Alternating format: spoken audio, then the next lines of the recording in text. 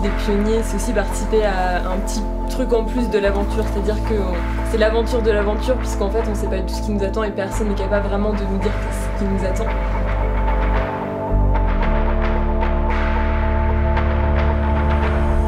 Vraie envie justement de, pouvoir faire partie de cette première euh, vague, cette première équipe en 2022 de, de l'aventure Exatrek et, et me dire que qu'on allait ouvrir quelque chose en fait, qu'il y aurait forcément des, contraintes, des galères. C'est une année en fait euh, particulière, c'est une année de, création quoi.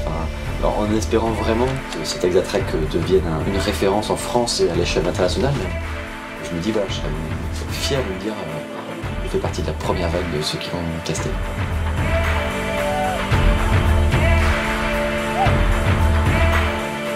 J'ai un peu l'impression qu'on est aussi au service du projet même si on n'y a pas pris part dès le début et qu'on va pouvoir euh, d'une certaine manière un peu éclairer ou permettre d'améliorer, de peaufiner euh, pour les suivants en fait. Donc c'est un truc assez, touchant aussi de se dire qu'on va peut-être mettre notre petite pierre à.